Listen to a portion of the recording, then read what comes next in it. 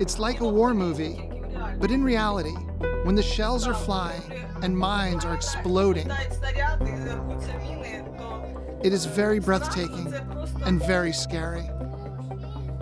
I'm not a fearful person, but when this happens, fear appears instinctively, without consciousness. Hands and feet are shaking, the heart is pounding. Don't sing, don't sing. We'll tell a story about the war. What did you say when the mines were exploding? How did you say it? Bang bang?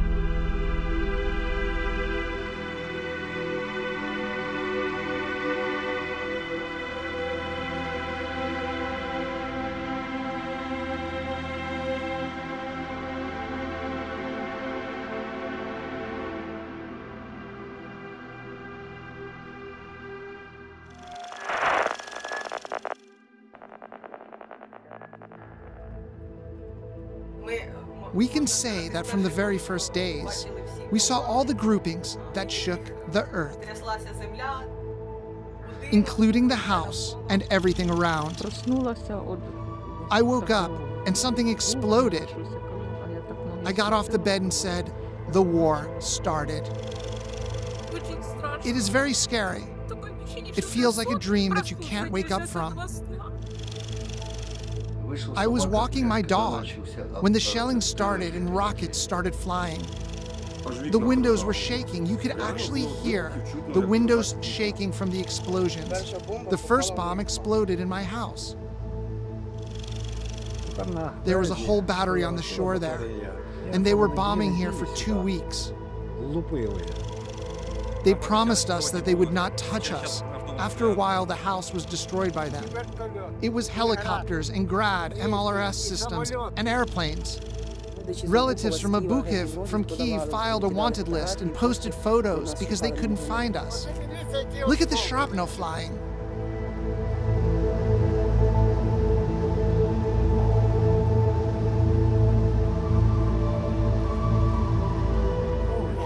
It was horrible.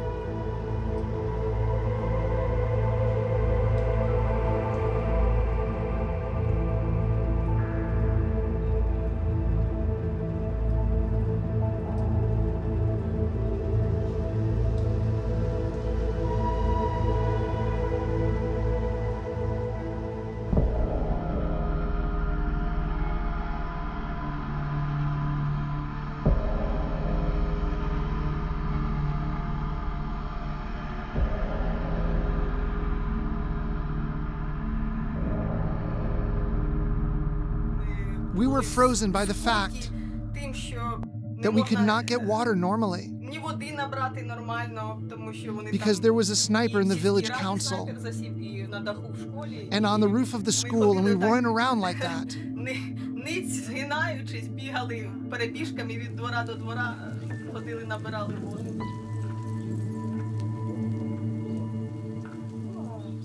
I always had me and my children's clothes ready here.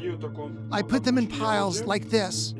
And if they started bombing heavily, I would grab my kids' things and run into the bathroom. We dressed, but sometimes did not get dressed at all, and ran naked and barefoot to the cellar.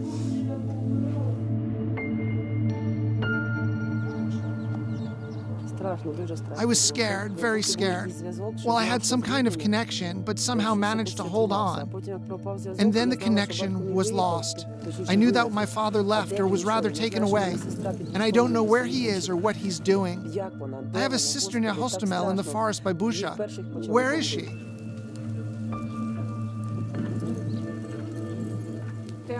It was dark, there was no reception, no light. And you couldn't turn on flashlights or light anything because they said if they saw any light in the house, they would throw bombs at the houses.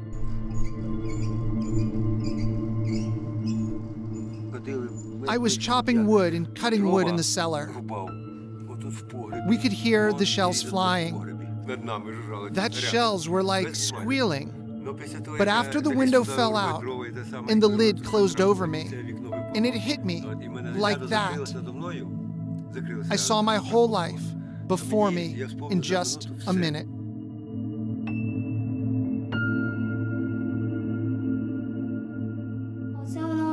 It sounded like this. And what were you doing when it exploded? I was hiding in the cellar.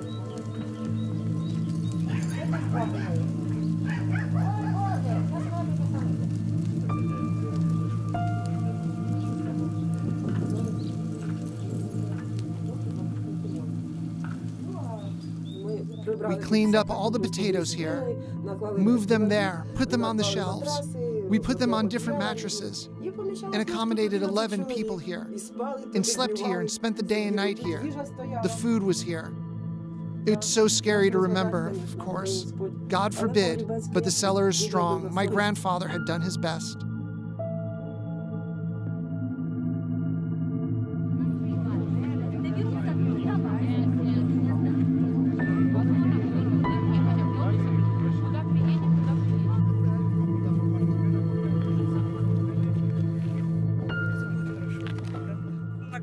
There are good cellars in apartment buildings, buildings that fit 30 to 50 people at a time.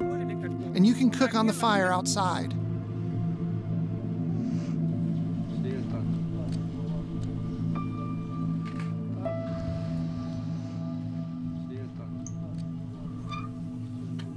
Well, it happened that we were sitting for a day at minus 12 degrees Celsius.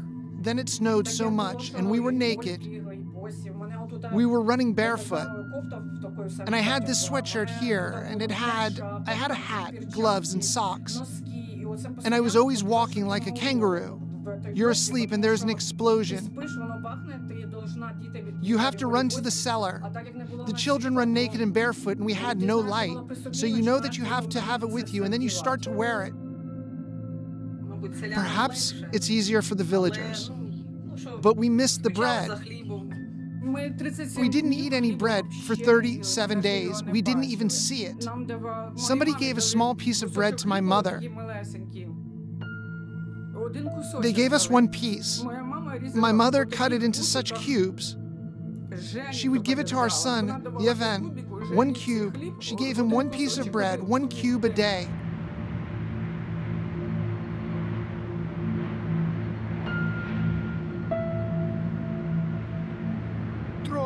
I had some potatoes left in the cellar, and some carrots and beets, some bread, and that is what we had to eat.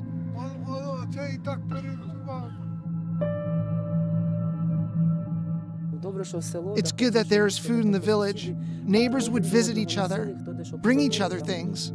We would cook something and give it to the children, and the neighbors would help us with it. There are old people, they were also carried by neighbors. There are guys from the village. I want to say thank you very much from the whole village.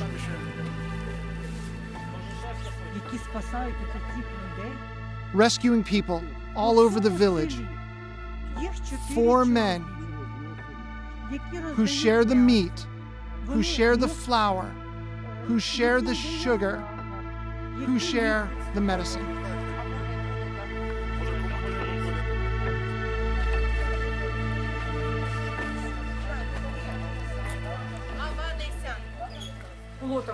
There was an opportunity to take oil, and we literally had two minutes to run across the road to where they were traveling. They would shoot everyone who ran away, and we would stick our heads out like that. We were running. I, I, don't know how to express it. Anyway, we got there, took the sunflower oil, but when we were walking back, the column started to go. Sergei says, Hide, the convoy is coming. In short, you run back behind that fence hiding. In this, in the 21st century, it's just not possible. They took us under this fence and beat us, took all our documents. We were beaten along this street by two occupiers with machine guns. They took us down there, and that's where their headquarters were. And in this car, the driver was shot. He was lying on the steering wheel. They shot him directly.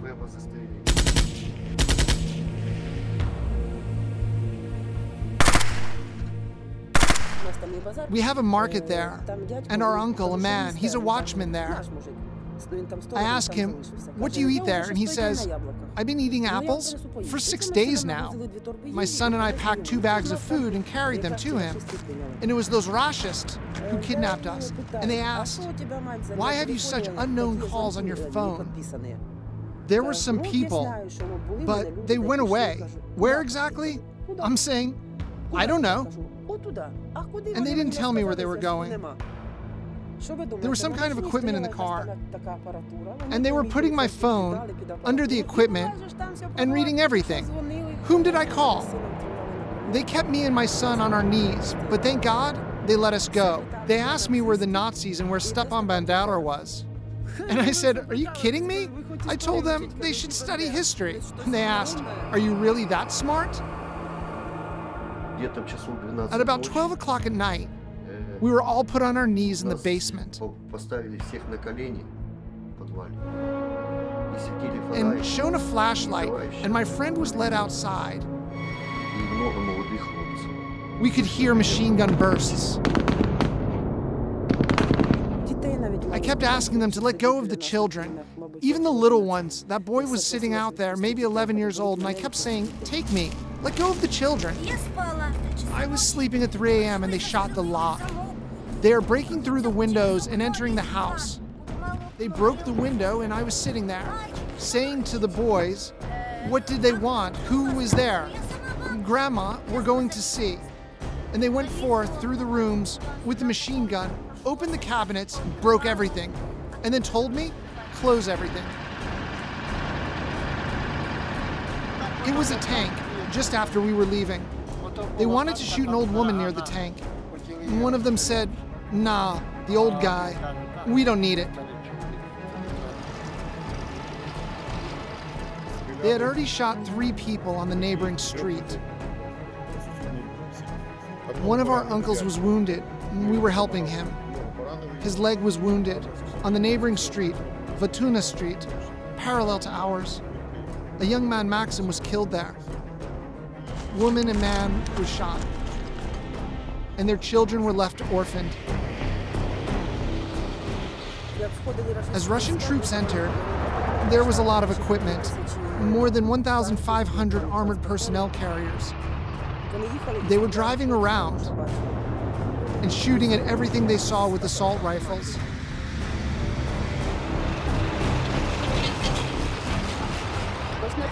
Two of our fellow villagers were shot at this very spot. A young boy of 25 years old was also shot. We approached probably 50 meters away. And they saw us and they had machine guns. I raised my hands like this and said, My child is lying there wounded. I wanted to take him away. And he said, Wounded?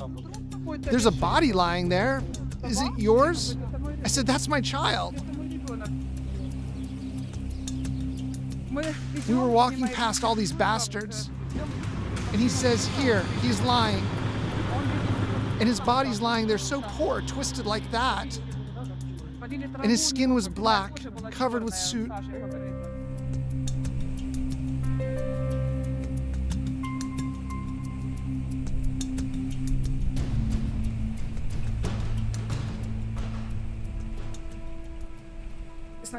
At first, we were afraid of the vehicles when they were driving.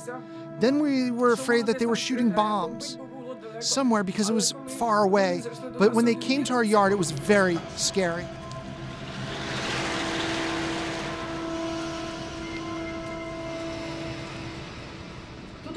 We had a mattress and we were sitting on it like this. Me and Sergey, Zhenya, Nastya, Nazar. My mother in law was sitting in the house. They came and started knocking on the door. Open the door, lady. Open it up. We'll just see. Where it was closed, they broke the doors and windows. It was very scary to wait for them to come to you with a machine gun. But first he reloaded it, then came down and opened the curtain with the muzzle. And I was sitting under the wall and was like, and I'm panicking. We all put our hands up and we all cried.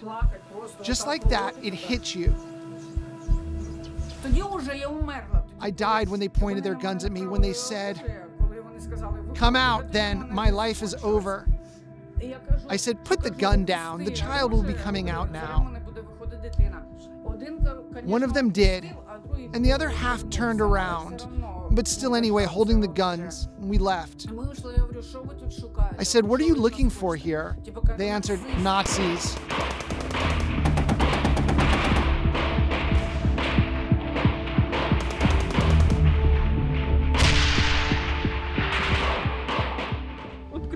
The doors open and I'm at the threshold. And I just walked in and I was at the door. They opened the door and six people are standing there with guns pointed at me like this. And they pointed the guns at me. They wanted our soldiers and asked, Who do you have? And I said, We have five pensioners. I told them that there were two men in that entrance. And they said they did not come to us. And there's no one here but us.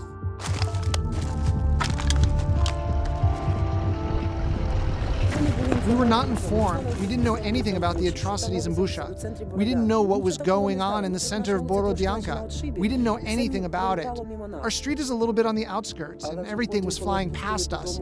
But later, when they let me go home, I was scared. They really let me go. I was alive. In general, this is how they tortured people.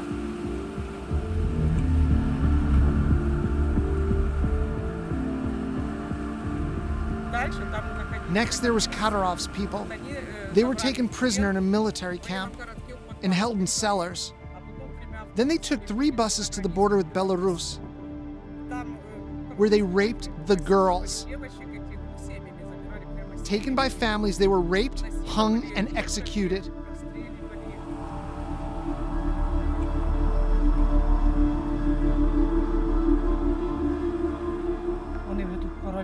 They already thought they were kings here.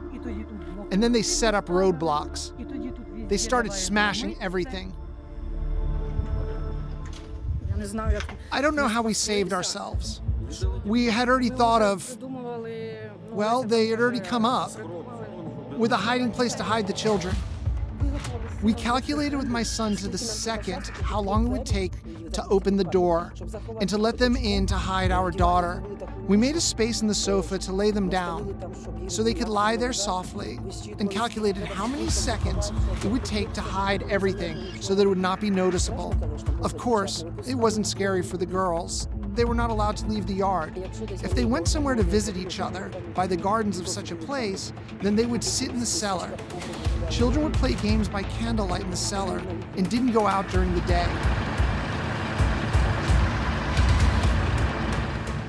They destroyed everything. They took everything away. They were looking for meat. And then somewhere they got some alcohol. And they were having fun and singing.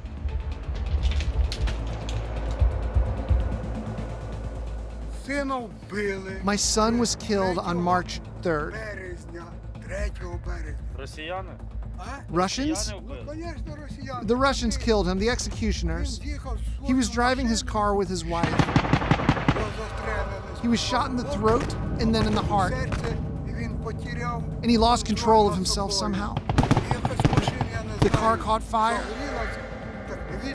My daughter in law jumped out as the car burned down.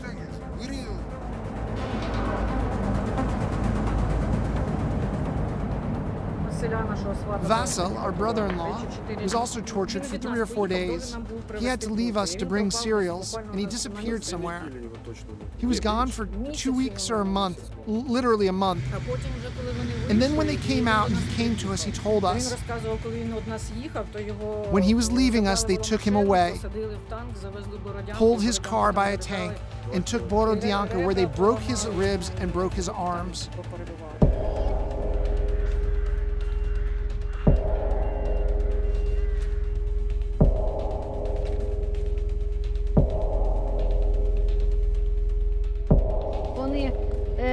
They were shooting at everyone's cars. Like theirs, for example. A car was driving by and they shot at it.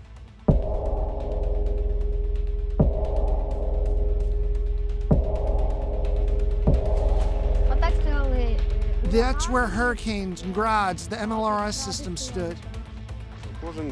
Yes, every day grad bombs were fired. We came out of the yard and watched the cassette being shot. I personally recorded 14 seconds of flying and then explosions.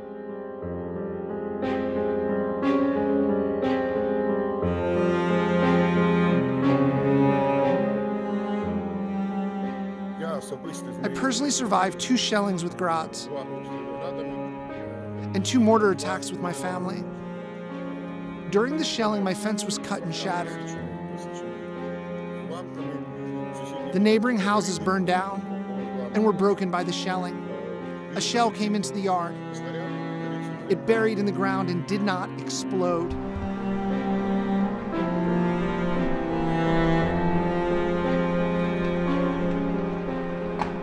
When they bombed us on the last day, we were saying goodbye to our lives. Five people in the hallway, and that's it. We thought that we were not going to survive. We were done.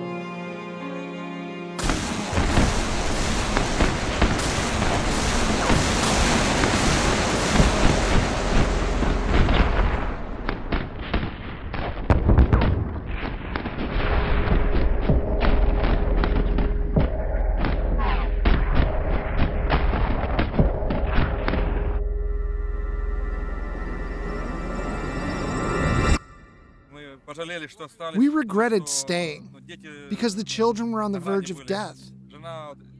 And my wife was already hysterical about the children because they bombed and bombed everything and there's nothing left.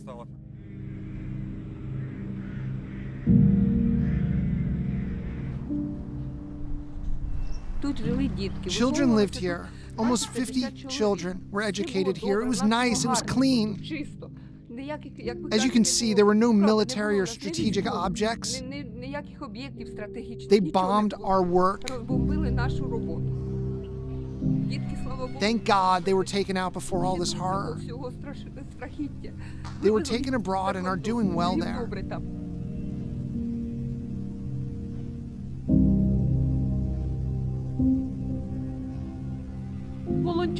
Volunteers came, and I remembered the 15th. And after they came every day, they tried to take us away. They told us to leave. I said, No, I'm not going.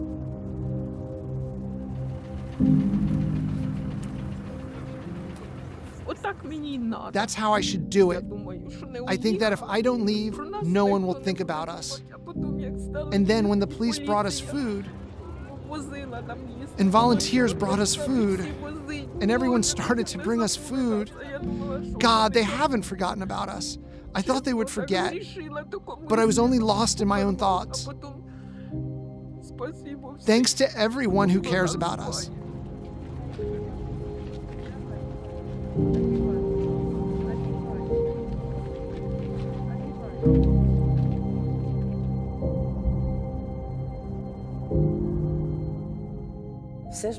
And yet they agitated me to go to Moscow, saying, You are such a woman, why are you here?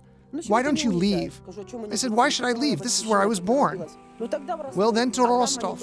And there, what am I supposed to do? I say, I'm at home. Well, as the first ones came and said, You live so well in Ukraine. And I said, What? Who doesn't give you money? Your relatives don't give you money?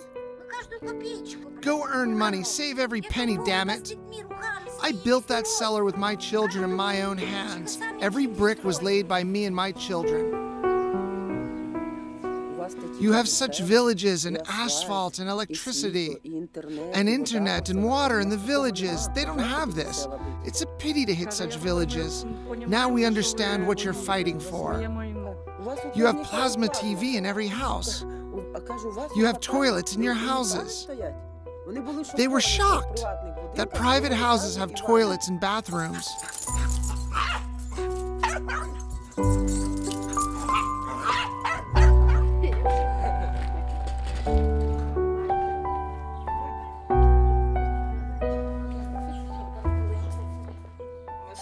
It's scary, it's horrible, you can't imagine anything worse Гіршої обстановки уявити не можна просто. Ну, це It just leaves such a mark on the psyche. на- оста- оставляє You can't think of anything worse. От, в сознанні, що, що гірше не придумаєш.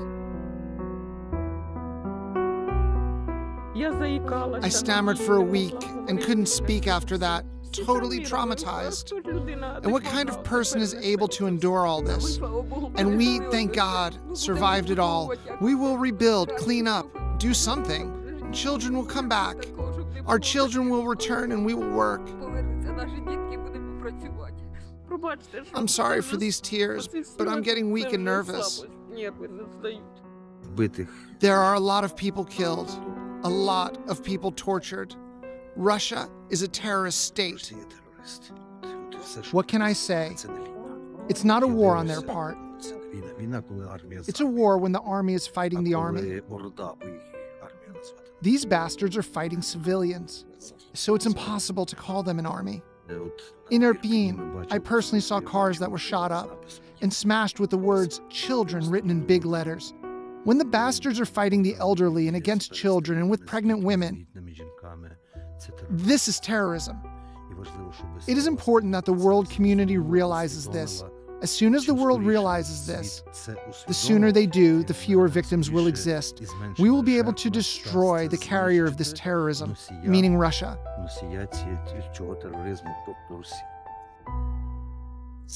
They can only be dealt with in one format as terrorists, not as politicians, not as with the president, not as a state, but that's how the world communicates with Russia. Bucha, Hostomel, Irpin are vivid examples of crimes in this regard. The world has to communicate with Russia as with any other terrorist organization. There is no other language. If they want to ensure security of Europe, and I believe the whole world,